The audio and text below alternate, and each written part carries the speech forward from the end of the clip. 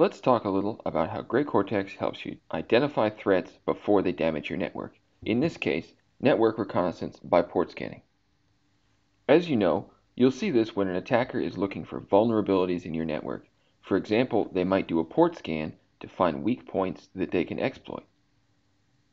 Because GreyCortex Mendel's data mining capabilities can process up to 70 attributes per flow and handle 10 times more data than solutions based on NetFlow, deep packet inspection, or blacklists, it catches attacks that those other tools miss.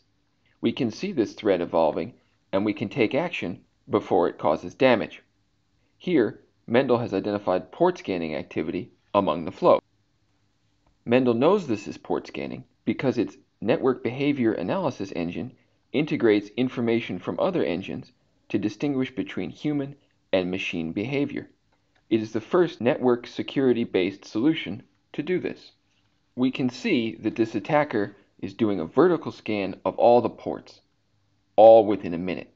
We can also see that some ports are open. We know that because Mendel shows us that these ports responded back to the attacker.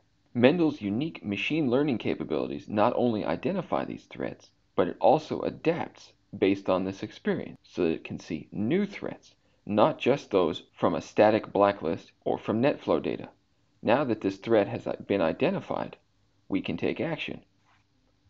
Contact your local distributor or GreyCortex directly to find out how you can use Mendel to find threats to your network before they cause damage.